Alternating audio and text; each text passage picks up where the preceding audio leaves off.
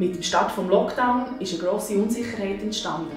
Wir haben nicht gewusst, wie lange wird es gehen, was kommt auf uns zu.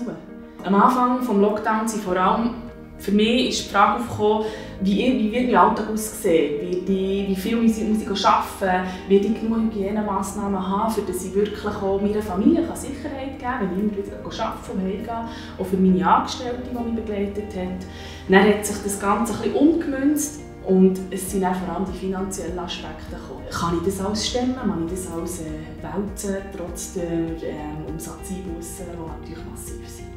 Ich habe mich mega gefreut über die Variante. Ich habe ganz am Anfang, als das Lockdown gestartet hat, das Telefon bekommen von meinem Betreuer.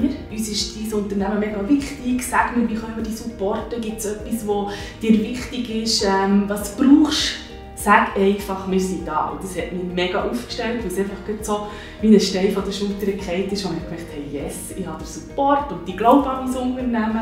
Es war sehr spannend. Ich habe mir gar nicht grosse Gedanken gemacht über einen Mieterlass. Und eines Morgens, als ich bekam, hatte ich einen Brief mit zwei, drei Zeilen von Valiant, dass sie mir die nächsten zwei Mietzinsen erlassen.